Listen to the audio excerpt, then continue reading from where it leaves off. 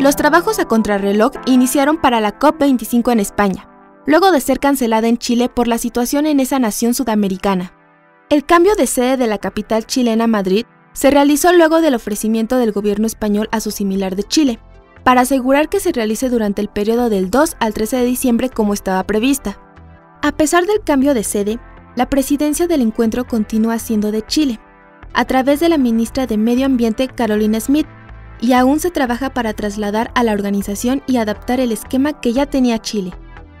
De acuerdo con cifras de la institución ferial de Madrid, tendrá un espacio adicional de 13.000 metros cuadrados en sus centros de convenciones y salas de reuniones que esperan recibir a unos 25.000 asistentes de 200 naciones.